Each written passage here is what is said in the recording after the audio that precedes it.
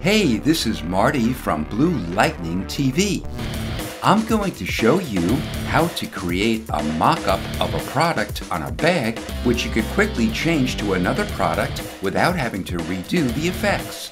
For your convenience, I provided this white paper bag and this image of a product graphic that we'll use for this project. In addition, I provided another product graphic that we could use when I show you how we can quickly change the graphic. Their links are in my video's description or project files. Feel free to use other images if you like. First, we'll make a displacement map of the bag which will make our product graphic look as if it's wrapping around the creases and the contours of the bag. To do this, make a copy of the bag by pressing Ctrl or Command J. Displacement maps look best when they're blurred, so go to Filter, Blur, and Gaussian Blur. Let's blur it 4 pixels. Go to File and save a copy. Save it to your desktop for quick access. Let's name it Displacement Map and save it as a Photoshop PSD file. Then click Save. If you see this message, just click OK. Now that we saved it, we can delete the top layer by pressing the Delete key or by dragging it to the trash. Open the Object Selection tool and hover your cursor over the bag until it turns pink. Photoshop makes a selection of that shape.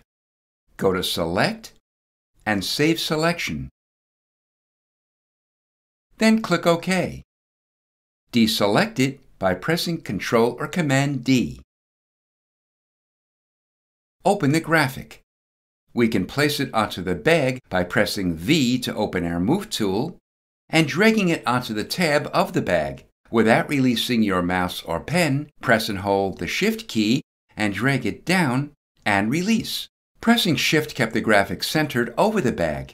We'll convert the graphic into a smart object so we can modify it non-destructively, as well as allow us to replace it with a different graphic without having to redo the effects. To do this, click the icon at the upper right of the Layers panel and click Convert to Smart Object. Let's reduce its opacity so we can see the bag under it. To resize and position the graphic, open your Transform tool by pressing Ctrl or Command T. Go to a middle side anchor point and press and hold Alt or Option plus Shift as you drag it in until the graphic width fits well on the bag. Go to the top middle anchor point and press and hold the Shift key as you drag it up. Repeat this at the bottom as you drag it down, making sure it covers the bag. Then press Enter or Return. Increase its opacity back to 100%. Open your Channels panel. If you don't see it, go to Window and Channels. Control or Command click the thumbnail of Alpha 1 to select its shape. Open back the Layers panel and click the Layer Mask icon to make a layer mask of the selection next to the active layer.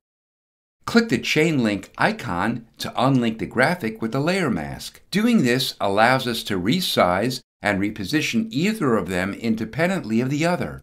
Make the graphic active and go to Filter, Distort, and Displace.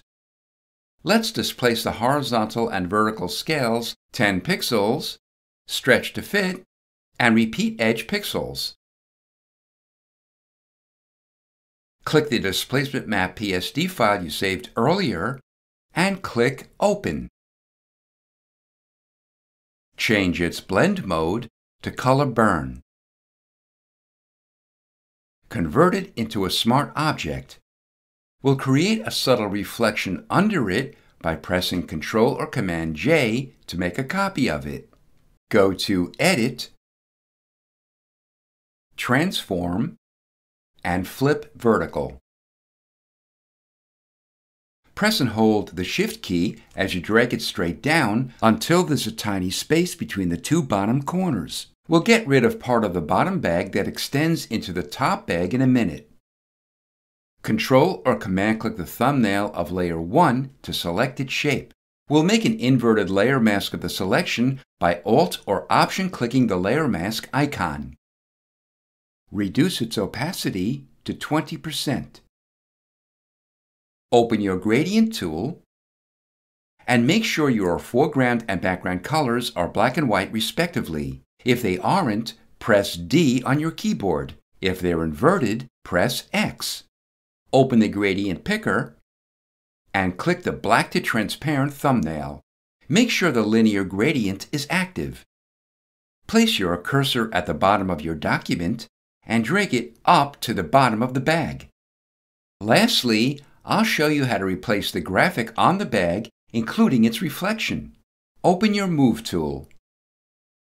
Double-click the thumbnail of the reflection to open its source image, and then double-click that thumbnail to open its original source. Go to File and Place Embedded. Open a different graphic and click Place. Then press Enter or Return. Hide the bottom graphic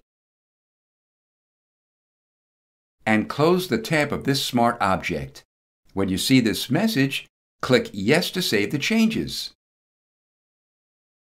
Close the tab of this smart object and again, click Yes to save the changes. That's it. This is Marty from Blue Lightning TV. Thanks for watching.